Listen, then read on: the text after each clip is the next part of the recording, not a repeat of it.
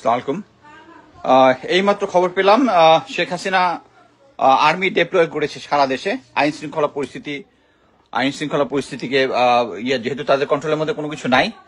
So আমি আশা করি সেনাবাহিনীর কোনো সদস্য প্রোটেস্টারদের উপর কোনো কিছু করবে না, এবং আমি কনফিডেন্ট এবং আমি আশা করি যে আন্দোলন যেটা আছে সামনে সেনাবাহিনী হোক, বিজিবি হোক, পুলিশ হোক, থেমে থাকার কোনো কিছু নাই। আমাদেরকে বিজয় মানে ফাইনাল বিজয় অর্জন করতে হবে। সেনাবাহিনী অলরেডি ডেপ্লয় হয়ে গেছে। অলরেডি আদেশ দিয়ে দিয়েছে এবং সেনাবাহিনী প্রধান এই মুহূর্তে টিভিতে অ্যাড্রেস করতেছেন। আমি, আমাকে একজন ফোন করে সরাসরি জানিয়েছে।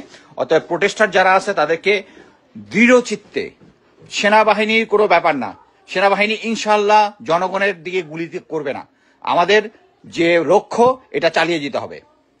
ধন্যবাদ। আমি আরও কোনো আপডেট পেলে আমি আপনাদের জানাব। শুধু এইটুকু জানাচ্ছি, সেনাবাহিনী অলরেডি ডেপ্লয় সারা দেশে ডেপ্লয় হওয়ার জন্য আদেশ দিয়ে দিয়েছে। সেনা প্রধান অলরেডি বলেছে সে তিনি ডেপ্লয় করতেছেন বাট তার স্পিচটা আমি ডিটেল যাই না বাট আমি অবশ্যই আশা করতেছি তারা জনগণের সামনে দাঁড়াবে না।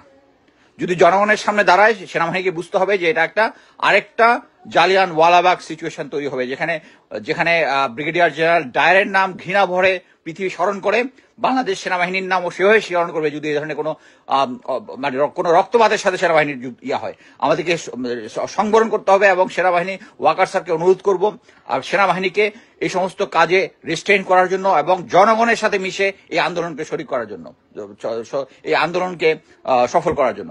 ধন্যবাদ।